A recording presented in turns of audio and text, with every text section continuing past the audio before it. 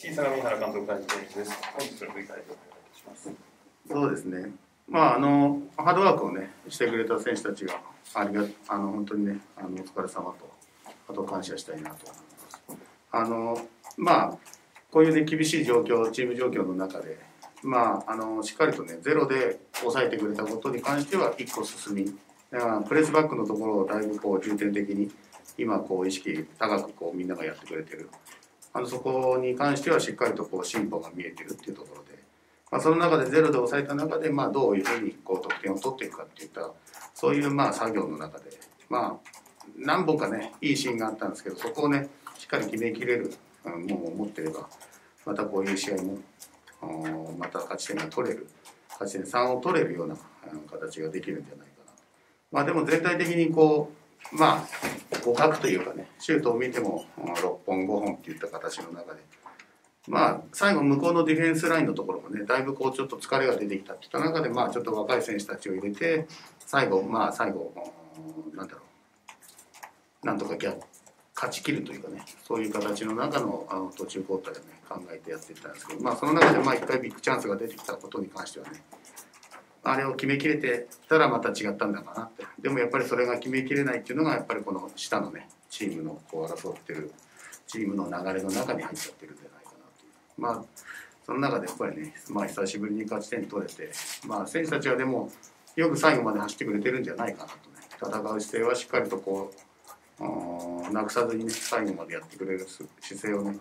まあ、サポーターの皆さんとかもね、感じ取ってくれたらありがたいなと思います。まあ、勝ち点1ですけど、まあ、負けずにね、えーしっかりとサポーター、スポンサーさんを返すっていったことに関しては、まあ、選手たちに感謝したいなと思います。以上です。ありがとうございます。では、い あのまあ、アウェーではもう一回声出し応援あったと思うんですけど今日はホームで、まあ、本当に3年ぶりの、まあ、声出しというかあの歓声がある状態での試合でしたけど達川さんはどのように感じましたか？そうですね、やっぱり声出しがあるとね、やっぱりスタジアムらしくなるっていうのがあってね、やっぱり選手たちのモチベーションも上がるんでね、やっぱりそういった面には、やっぱり、ね、無観客から、ね、コロナがこの流行ってから無観無観客で、それからまあ、ね、一席ずつ開けるとか、そういったね、ところもありながら、まあ、少しずつそれも収まりつつね、で、声出しまでやっと出てきたっていう。まあ、選手たちもモチベーションとか例えばなんて言ったらそういう雰囲気っていうかねスタジアムの雰囲気そういったものの後押しみたいなのがねあのしっかりとこうでき出てくるしやっぱり見ててね、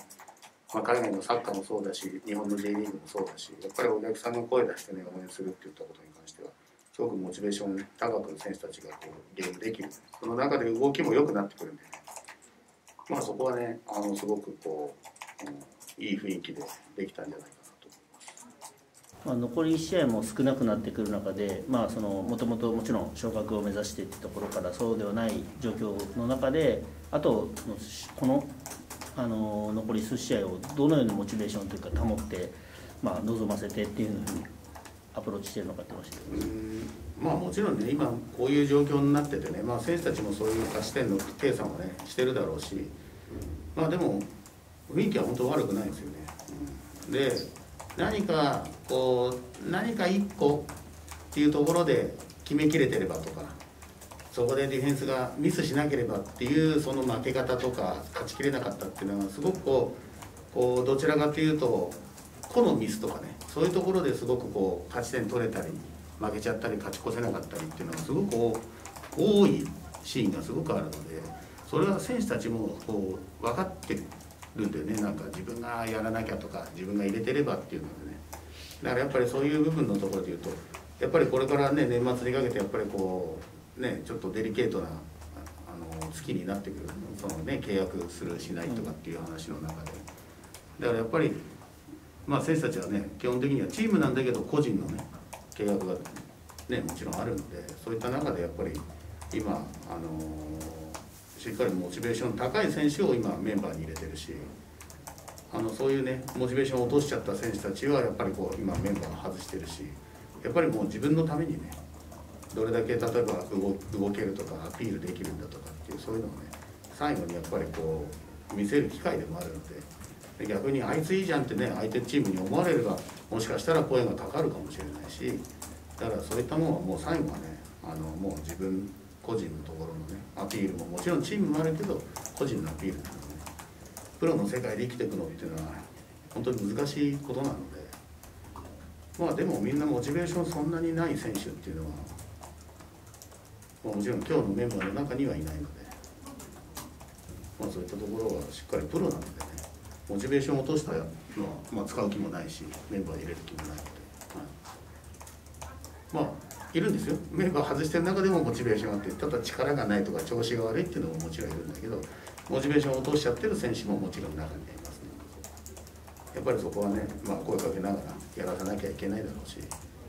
まあ、最後までね、まあ、僕あと残り3試合ですけどそこはしっかりとねあの監督としての仕事をしっかりしたいなと思います。